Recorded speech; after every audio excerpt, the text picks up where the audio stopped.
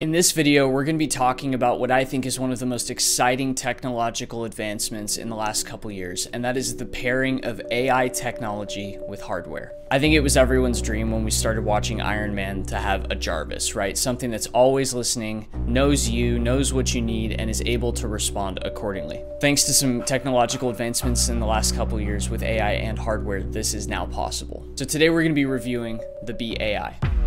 Now, there's a couple different products that are very similar to Bee, so I kind of want to break that down. The most popular one is called Plaud. They have two different devices. The only one I've ever played with is the one that attaches to the back of your phone. It's supposed to be able to help like record phone calls, give you a raw audio file, as well as transcribe it. What I found when I used that was the quality of the call wasn't as great as I would have hoped and therefore the transcription also wasn't that great. So I decided to start looking around for a more cost-effective product that would kind of deliver the same. So that's when I found Bee AI. My favorite thing about Bee is one, it's nice to wear it on your wrist. It's nice to just have it with you all the time. It's not something that's like attached to the back of your phone. I have my wallet on the back of my phone, so I didn't really want to replace that with an AI device. So I've really enjoyed wearing it around. So after one week, here's my honest review of the Bee.ai. First of all, the boxing and branding and all of that is great great. They send you two different colored wristbands as well as a lapel clip. This is great because it gives you a little bit of diversity as far as like what you're wearing and where you can wear it. There's three core functions I want to go into here. One is just the language model that's included in it. Inside the Bee app that you get when you buy the product, there is a language model that you can ask questions just like any other language model like ChatGPT, Gemini.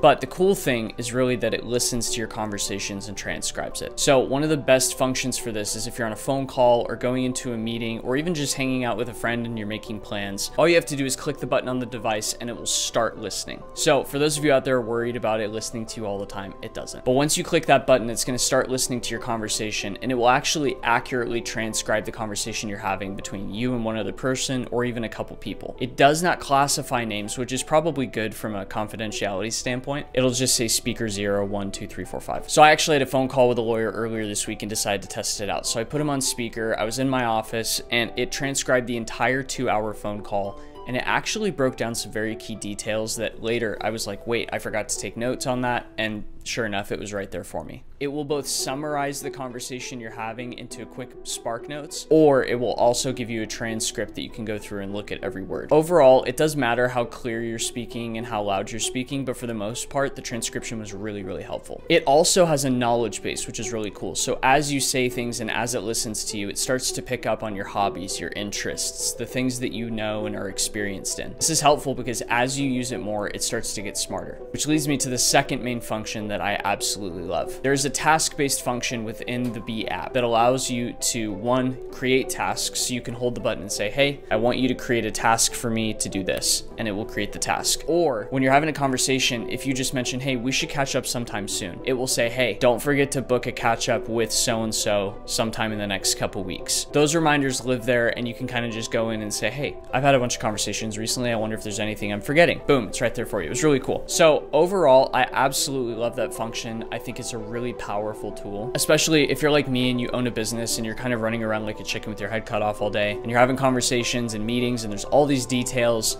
and you're not someone who wants to live right here and just be taking notes the whole time. This is super, super helpful for you to stay engaged with the person you're talking to, but also make sure you're getting all the information needed. The other function that I really enjoy is it can sync with your Google Calendar and so you can ask it, hey, do I have any meetings coming up in the next hour? And it will say, nope, your calendar's free.